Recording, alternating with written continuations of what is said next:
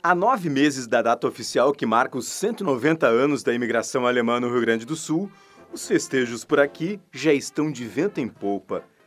No galpão crioulo do Palácio Piratini, a secretária de Turismo Abigail Pereira, representando o governador Tarso Genro, recepcionou representantes da comunidade alemã no estado e o cônsul-geral da Alemanha no Brasil. Celebramos uh, não somente os 109 uh, anos da imigração, mas é uma parte muito importante da temporada.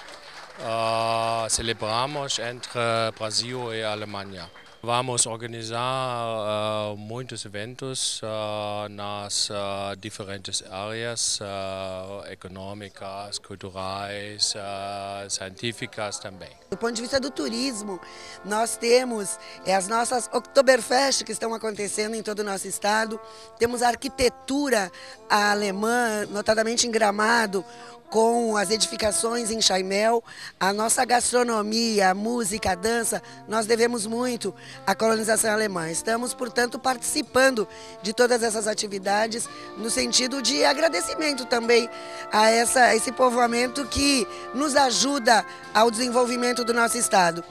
No final, a banda alemã Wandermusikanten fez um show à parte. O grupo que mistura diversos ritmos musicais se apresenta no mundo inteiro.